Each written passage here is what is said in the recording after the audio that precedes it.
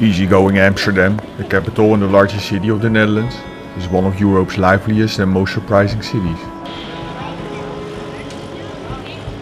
It's a compact and accessible place.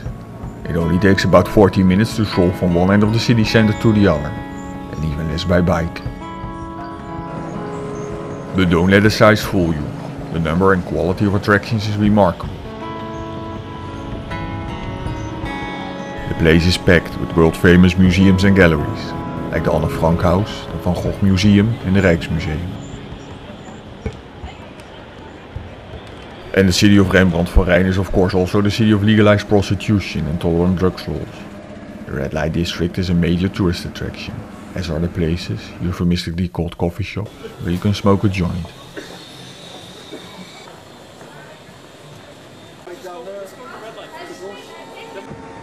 In the 17th century, Amsterdam was the world's richest city, an international sea trading port and the cradle of capitalism.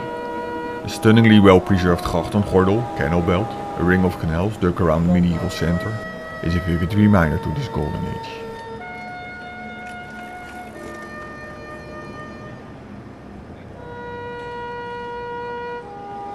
Amsterdam may look like a museum, it lives in the present. On nearly every street you will find old and new side by side. The city government has worked hard to transform Amsterdam from the hippie haven it was in the 1960s to the cosmopolitan business center it is today. But thankfully the center remains free of the glittering business parks that have sprouted on the outskirts of the city.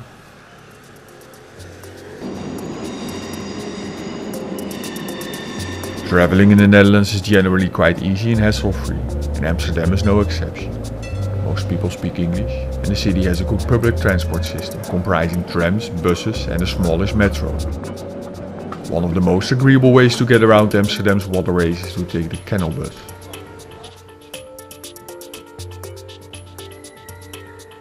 Another great way to get around is by bike. There are about 750,000 people living in Amsterdam and almost just as much bicycles. The city has an excellent network of cycling.